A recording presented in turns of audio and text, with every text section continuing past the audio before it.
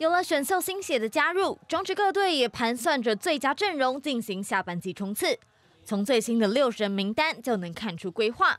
取得上半季冠军的中信兄弟，今年加入的八名新秀，只有刚签下队史新高合约的火球男于谦被带进名单内。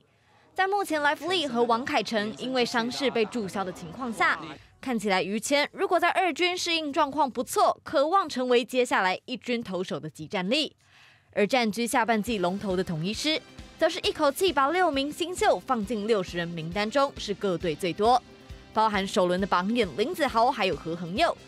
其中已经在二军开始出赛的何恒佑，目前九战十五打数六安打，打击率达到四成，长打率也有破五成的水准，表现相当抢眼。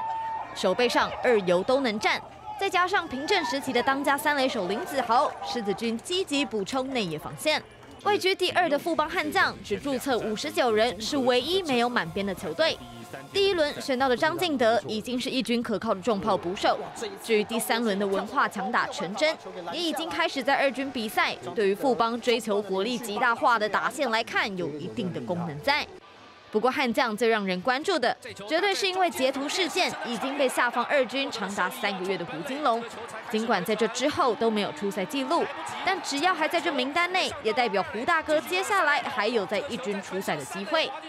至于乐天桃园，则摆进四名新秀，有林子威和徐俊阳两位投手，以及第一轮的马杰森和林振华两名野手。